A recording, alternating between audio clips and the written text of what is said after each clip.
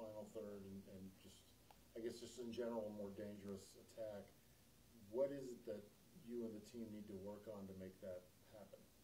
I think just little moments, the chemistry of the final ball. I mean, uh, you just so I wouldn't say that Omaha is sharp in the front right now in any way, shape, or form. However, that one cross hits a guy in the head and ends up at the back of the net. Tyler gets the end line. We're in a flat run. Gets pulled back. It's rolling across the, at the beginning of the game.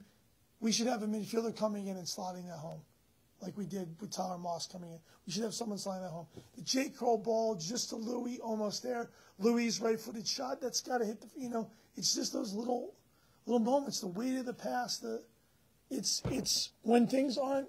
When you get a goal, if we get start getting a goal or two, we'll get four or five in a game, like we did last year when we broke free in Fort Lauderdale. But we just haven't broke free. We just haven't gotten that that moment because if we had scored first in this game, the confidence we were playing with, the organization, the determination of that back four, I felt so good about the match. And we defended the set piece as well against them. We didn't give them a lot, which is huge. But I sit, I stand here before you, you know, knowing that we're on a, you know, now a, you know, it's a two-match losing streak again, and we haven't been able to get a streak of wins together. So that's got to happen, and hopefully. Um, you know, they're, we're able to take the good things away from this game and build on that going into Chattanooga. Thanks, Coach. Thank you.